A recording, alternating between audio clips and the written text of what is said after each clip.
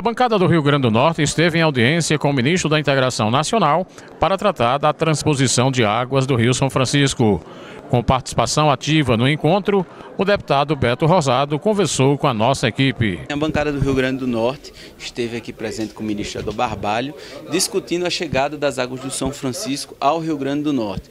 Então o ministro enfatizou bastante a questão do eixo norte, as dificuldades que foram encontradas. A Mendes Júnior, que era uma das construtoras, decretou falência, saiu do projeto e ele disse que o ministério está cumprindo todas as etapas para que o eixo norte seja concluído o mais rápido possível.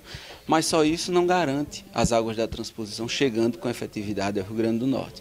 Nós precisamos também levantar a questão do ramal Apudi, que esse sim vai garantir a chegada é, da transposição, das obras da transposição ao Estado, e aí nós poderemos fazer, é, levar essa água da barragem de Santa Cruz até toda a região oeste, até quem sabe, a capital do estado. E isso, assim, é que vai garantir a grande população necessitada, carente de água ao Rio Grande do Norte.